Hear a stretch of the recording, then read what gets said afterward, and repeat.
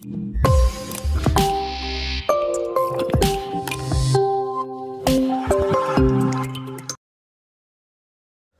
hello guys welcome to iTechHub youtube channel. So guys in this video i will show you how to remove ios 15 beta on iphone and ipad so guys lot of iphone and ipad users reported to ios 15 update after many bugs on iphone and ipad.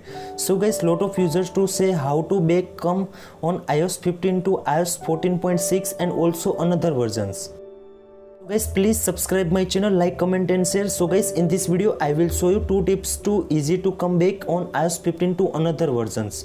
So guys please follow the step so guys now first one trick is how to remove the iOS 15 beta profile without computer. So guys please follow the steps and easy to fix your problem. So guys first of all open the settings app. In settings app scroll down and tap on the general. In general you can see also profile option. So guys please tap on that. Now you can see also iOS 15 beta software profile. So guys please tap on that. Now you can see also bottom remove profile. Enter your passcode and bottom also remove options. So guys please tap on that. Now again come back in settings app now swipe up and select the software update. In software update you can see also iOS 14.6 you can easily come back in your iPhone and iPad. So guys now I will show you second trick. So guys how to remove the iOS 15 on iPhone and iPad with PC or Windows computer so guys lot of iphone users reported to uh, profile options not showing on iphone settings. So guys how to fix that issue and also how to remove ios 15 from the iphone and ipad. So guys you can easily restore the previous version on your iphone. So guys how to? So guys please follow the steps and easy to fix your problems.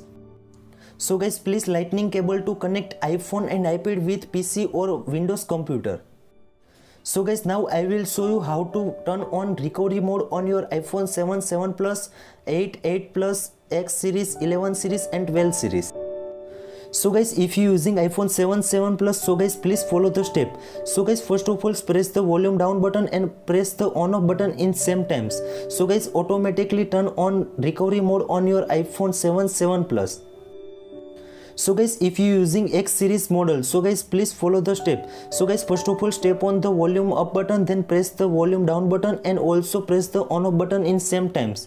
So guys automatically recovery mode on your iphone x series so guys if you using iphone 11 series and also 12 series so guys first of all tap on the volume up button then tap on the volume down button and also press the on off button in same times. So guys automatically recovery mode on your iphone 11 series and also 12 series. So guys please connect your iphone and ipad with pc and windows computer and also turn on the recovery mode in your iphone and ipad in your iphone and ipad recovery mode turn on after you can see also this type interface so in your windows computer and also pc so guys now you can see also restore iphone. So guys please tap on that and you can easily restore the previous version on your iphone and ipad.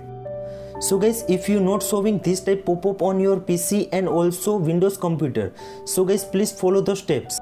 So guys first of all download the itunes on your pc and also windows computer now connect your iPhone and iPad with PC and also Windows computer. After you can see sometime wait then automatically detect the iTunes your iPhones. Now select the your iPhone models and now you can see also this type interface in your PC and Windows computers.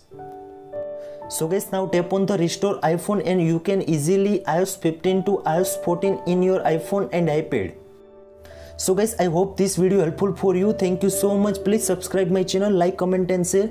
If you have any query about that so please dm on my instagram. Thank you so much